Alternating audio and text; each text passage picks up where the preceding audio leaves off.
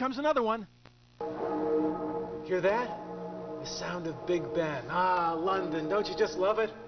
But it isn't really London, is it? No, it's a backdrop. Ah! And we're at Tamara Morrison's Backdrop Studio. Come on, let's meet her now. Tamara! Hi, Ben. Good to see you. What is this place? Tell us. This is our painting studio, our fine art mural painting studio. What do you use these big things for? Well, the photographers and the filmmakers come over here and they rent them for their TV shoots and their still photography magazine ads. And they're 12 by 20, Mm-hmm. and we put it up where it's, it's raw canvas, and we put it up, we staple it up, and then we have to prime it two or three times, and then we start painting it. We have 1,600 paintings here for rent. I think I'm almost the largest in the United States. Almost. Has the general public maybe seen a backdrop of yours? Every day in TV commercials, there all the time. Everything for Sears, Spiegels, and Wards was ours for years. Andersen windows, they have an Andersen window up, and then they like put our backdrop behind it, so you think you're outside, you know. You started with 200 or so? I started with one. the very first one was um, actually a Ralston Purina bag, a dog chow bag cover. And I bought the airbrush that day. I didn't know how to airbrush, and I said, Oh, sure, I know how to airbrush. I bought the airbrush that day and did it. I painted the first 300 of them myself alone. And then I realized it was so much work, it was killing me. So I had to hire s- some help. This is Elaine Miller. Hi, Elaine. Hi. This is Amy Moore. Hi, how you doing? Miss Nicole over here. Hi, how are you? And over here we have a dare. You must be Gerald. Yes, how are you? Thank God we got a muscle man around here. She's a maniac. You know that, She don't is. you? Yeah.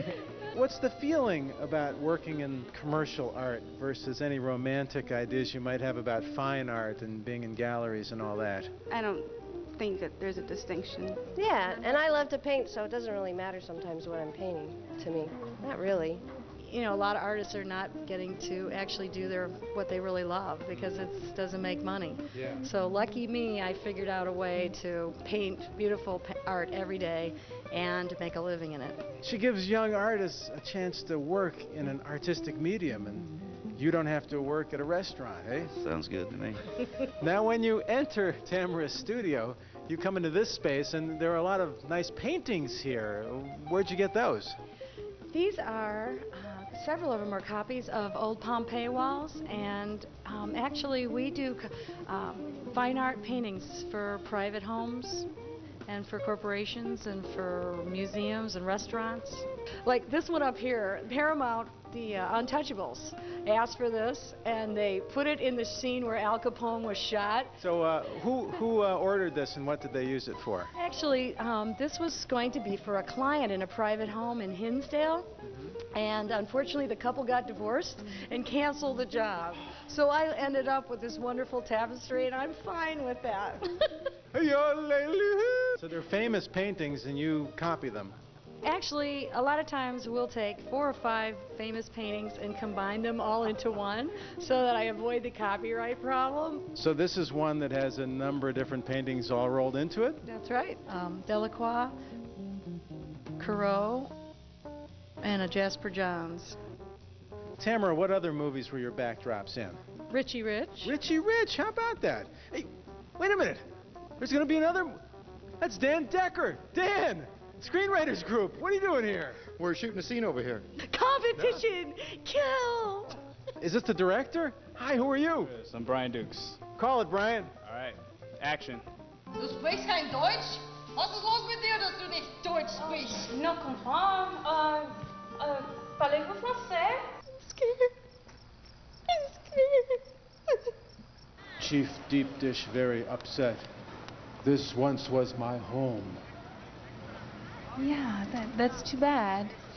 Open an interdimensional hailing frequency, First Officer Thompson. Right, Captain. It's too late. They've already boarded us.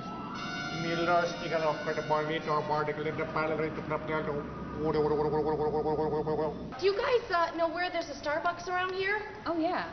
On Oak and Rush. All right, thank you. Insert tear here.